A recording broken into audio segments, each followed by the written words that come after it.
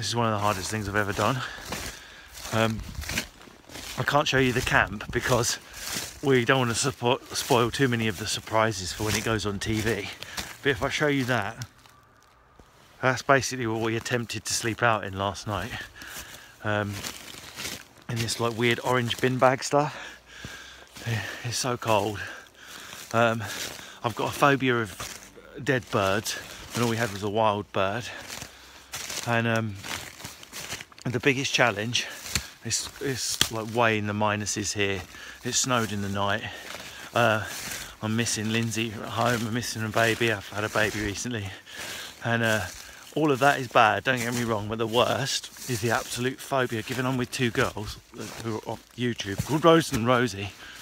The absolute worst is is the is pooing.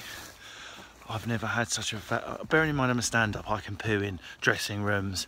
I've had, you know, about to be introduced on stage and had to go for an emergency poo in like the tiniest weird toilet off a turning. So it's not like I mean I got over that phobia when I was at school. Oh my god, I'm on a lake. I'm on a lake. I'm on ice. That was ice.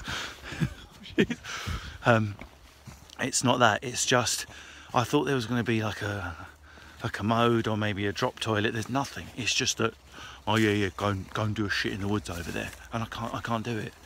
And uh, it's day two, and I'm worried that eventually I'm just going to store it all up, and you'll just find me dead after I've shat out a diamond or something. Anyway, I'm sorry this blog is about poo, but when you're in the tundra with nothing, things really do get basic really quickly. And then there, there is no way I can even gamble a fart today. No way.